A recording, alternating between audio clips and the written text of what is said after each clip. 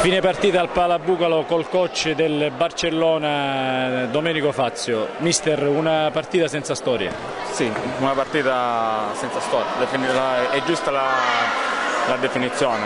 Abbiamo incontrato un avversario che ha, ci ha messo tutto, noi siamo riusciti a mettere veramente poco in questa gara e, e quindi il risultato è la degna conclusione di tutto ciò. Senta una cosa, eh, la vostra squadra viene tratta tra le più accreditate per la vittoria finale eh, incontrandovi questa sera col Santa Teresa che è una delle altre favorite, eh, lei quali pensa che sono i valori reali di questo campionato? Ma eh, secondo me stilare pronostici a inizio anno, dire chi è favorito, chi non è favorito è veramente poco perché comunque si fanno dei pronostici solamente sulla base del sentito dire. Eh, sicuramente sono due squadre, sia la mia che il, della, della partita di stasera, sia il Santa Teresa, due squadre tra le più accreditate a fare un buon campionato, eh, però è chiaro che la strada è ancora molto lunga.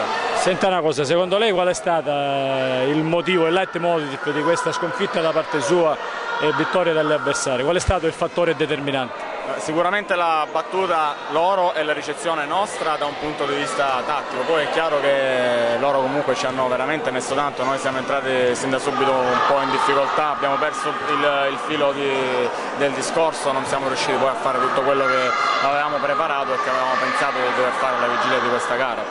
Senta una cosa, al di là del Barcellona e del Santa Teresa si parla molto del Savio, si hanno poche notizie della squadra palermitana. Lei che sicuramente è un addetto ai lavori, come vede, ripeto, in partenza questa griglia di valori?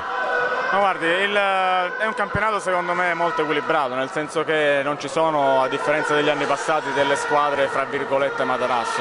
Sono tutte squadre che possono secondo me ambire tranquillamente a uno dei primi quattro posti che, eh, che vale i playoff. E si dice bene del Savio, obiettivamente l'ho visto poco, di questa squadra di Palermo anch'io ho pochissime indicazioni, però ripeto è un discorso, ci sono sempre dei, dei discorsi fatti così sulla carta in partenza e poi il campo dice altro.